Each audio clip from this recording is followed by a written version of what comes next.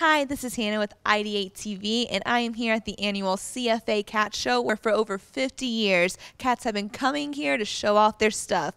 Let's enter the cat's den.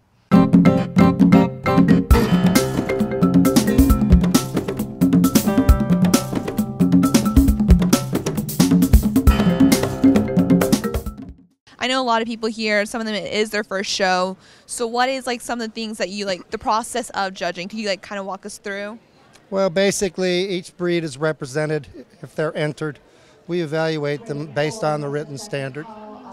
The better quality representatives of the respective breeds are placed in our final and recognized as such.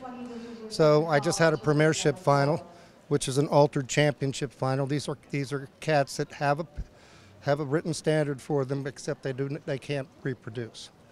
So that's a, a class, a competitive class that we have. We also have championship kittens and household pets. Mm-hmm. And household pets are just cats that haven't been declawed, mm-hmm. and we require them to be altered, you know, neutered and spayed. But you know, it's it's an interesting situation with household pets. It's whatever you like, and as, as a judge, and but but the other ones have written standards that we have to apply, and there's disqualification points, and the better cats win. And each judge here, it's a show unto itself. We don't collaborate or anything. We, based on our experience in the fancy and our evaluation process, we place them, rank them, and present a final at the end of each competitive category. So, like, what do y'all do to prepare for like this type of event? Get mentally ready, and she primps the cat. so you're just the support. You're That's the right. fan, right? That's You know, the hype man for her to go off stage, right? driver. He's the driver. Right, right. He's like the pageant dad. She has lots of baths. It takes a lot of ba- bathing and combing for weeks before you go to a show. Oh wow! Do y'all travel a lot for this type of thing? Not a whole lot. We come to Southern California. We live in Phoenix, Arizona, and we come to Southern California too. So, oh, What kind of um, like things do you go through to prepare for like such an event like this? Oh, gee, like la- yesterday, uh, just to bathe the kitty and get it ready for the show, it takes about two hours. The bath and then the blow dry. It's it's it's quite an ordeal. That's longer than I take to get ready. And then you have to pack all your equipment. I mean, it's an all-day thing almost. What made you decide to like do this and get into it? Um, a friend of mine has show cats, and she said it was a lot of fun. What have you done to prepare? Like, did she tell you like the tips and the tricks? A little bit about grooming and what to bring to the show, that kind of equipment, things like that.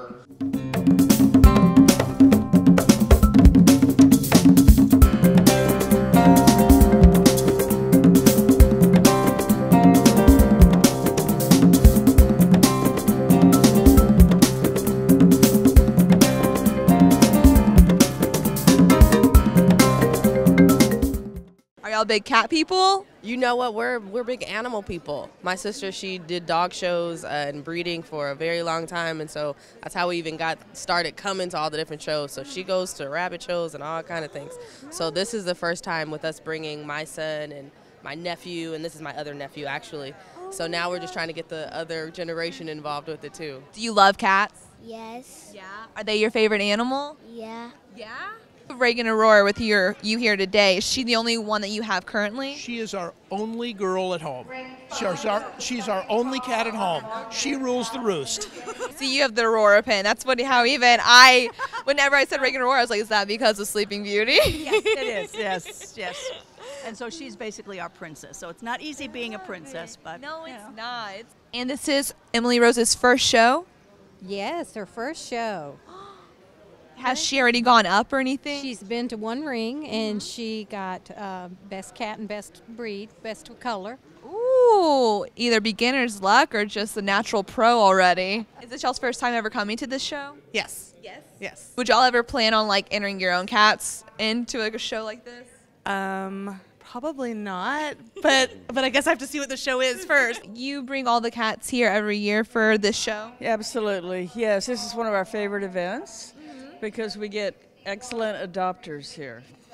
So we always make this show. Yeah. Really? That's Yeah. your favorite part of it? Yes, absolutely. Because I know I can count on the public to come in and that they'll be good people and they'll give good homes to our cats. So mm-hmm. it's a wonderful show for that purpose.